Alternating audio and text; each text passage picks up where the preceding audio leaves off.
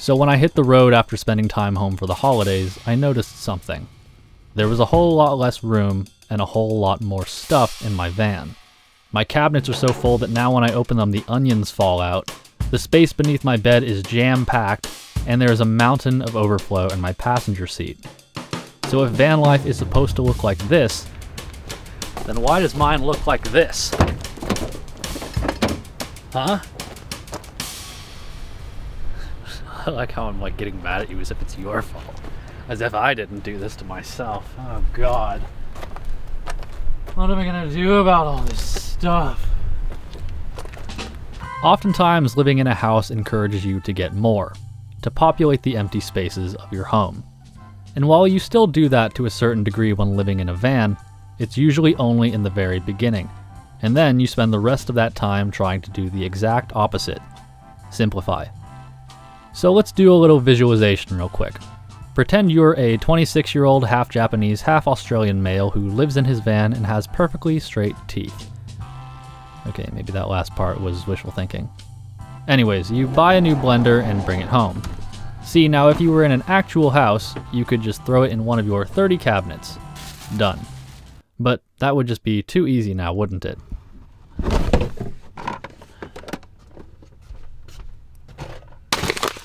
Quinoa, one loaf of bread, two loaves of bread, apples. Giant bag of nuts, more nuts! Why are there so many nuts? Do you guys remember how last week's video I said I was cleaning out my dad's house and getting ready for it to sell? Well, I picked up some things there that I probably just should have uh, let go, but I don't want to be wasteful. Now they're in here. Do you know how long it's going to take me to eat all of these? Aha!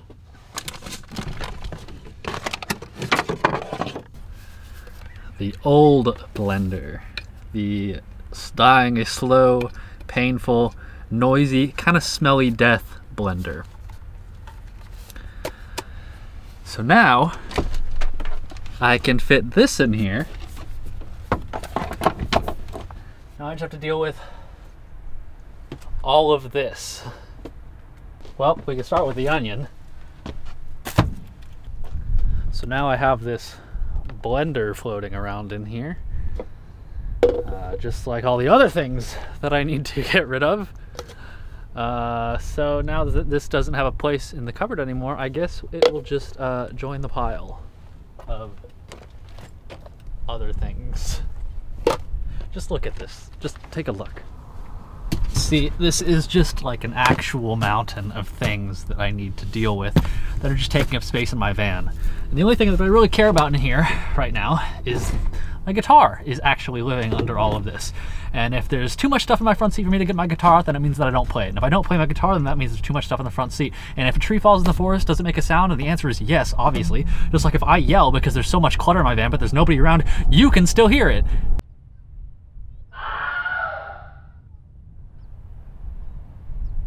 It seems that whether we like it or not, van life is inextricably linked to minimalism. You can't live in a tiny home with too much stuff and reasonably maintain your sanity. You only have room for a certain amount of items. Take, for example, the most popular minimalism analogy of all the closet. So, pretty much the entirety of my clothing lives right here. Uh, it's not a lot, but I feel like I have a lot more clothes than I need to live in the van. Um, so everything's in here in little packing cubes. 8, 9, 10, 11, 12. So 12 shirts. So I don't know. I feel like 12 shirts for months of wearing is probably healthy. Healthier than whatever's going on in the rest of my van, I guess. I don't have the luxury of of bringing a whole bunch of things just because I'm attached to them or because I like them. If they're not like practical, if they're not useful, if I'm not going to actually wear them, then they're just going to take up space. And I sit here and I say that as if I uh, am perfect at doing that, when really, right behind you, we can see that all of my sweaters and stuff are taking over a different corner of the van. So clearly, I'm not as good at this as I uh, might seem on the surface. Uh, if there's any real minimalists out there that want to just like destroy me in the comments, please feel free. I don't claim to be a minimalist. I never have.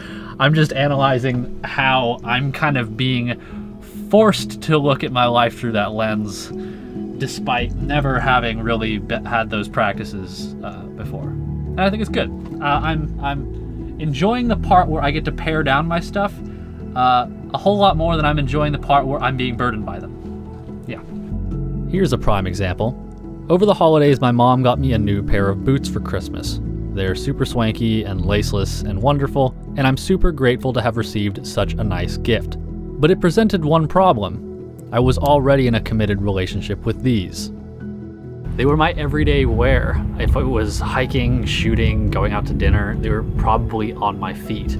They were perfectly worn in. They fit me like a glove, but the soles were kind of ripping off the bottom, so uh, I made the tough decision to leave them behind. If only I could have done that with all the other crap that's in my van right now. In light of this overcrowding I'm dealing with, I've started to give more thought and intentionality to the things I allow to occupy the space with me. So perhaps I'm not the person to be talking about having things with intentionality, but I'm doing a better job to only bring things in here that are really going to like give me value or or help me out in some kind of way, and they're not gonna I don't know, make my life more difficult. Uh, so one of the things that I did recently install, and I know, I know I'm so, I'm so authentic, I'm so genuine, I'm so original. I just came up with this all myself. Magnetic spice jars. Every van probably has it, uh, but I think that it's just so amazing because all of this stuff used to take up space inside of my cabinet, and now that I have them out here, not only is it colorful and does it look nice and is it convenient, but now I have all this space in there that I can clutter with other things.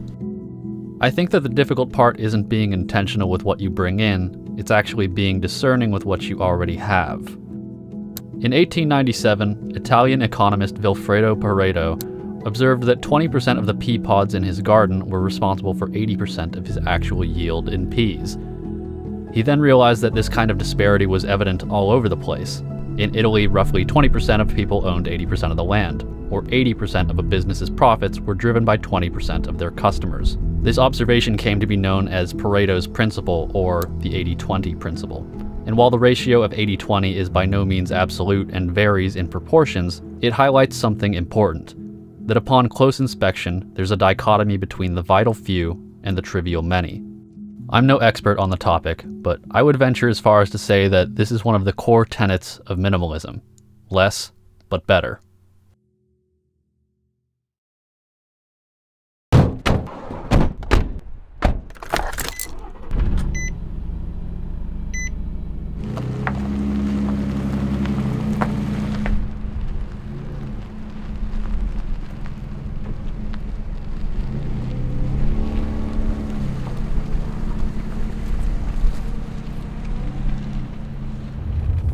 All right, so we are headed into town because I am going to get rid of a couple of things. I've sold some things that I need to get rid of, and some other things are going to go to donate. So let's get out of here.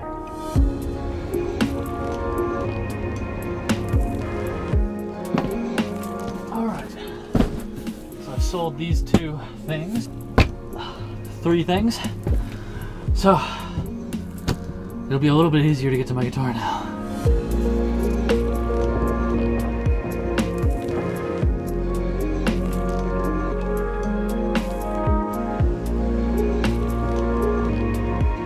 Okay, you need your receipt? Uh, no, thank you. And I also have uh, this other thing that goes to it as well. Well, it's not perfect, but it's a whole lot better already. Being in a van amplifies how beholden to our possessions we are, and gives us two options physically trip over all of your stuff, or let it go. I recently learned that inactivity is a decision in and of itself. By doing nothing, we're making a trade off. By not relinquishing things that no longer serve us, we are allowing them to hinder us. By hanging on to that extra sweatshirt, I'm saying yes to being able to be orange whenever I want, but no to a clean and orderly cavernous hole cubby that I still haven't done anything with.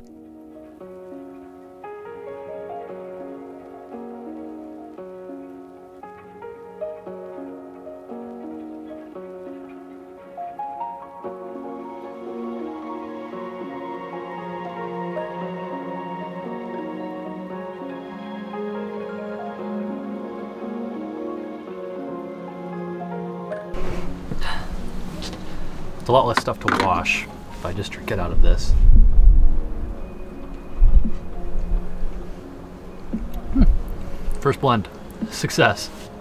So this isn't to say that just by making this video that I've somehow reached van minimalism nirvana or something, but I have begun to be more critical of the things that I have and that I bring into this space and whether or not they're helping or hindering me. Because sometimes it feels like the stuff is weighing on me like an anchor, and I wonder who's really the owner then. Uh, so I will continue my journey of simplifying, because uh, as Rolf Potts, the author of Vagabonding, once said, neither self nor wealth can be measured in terms of what you consume or own. Thanks so much for watching, and I'll see you next time.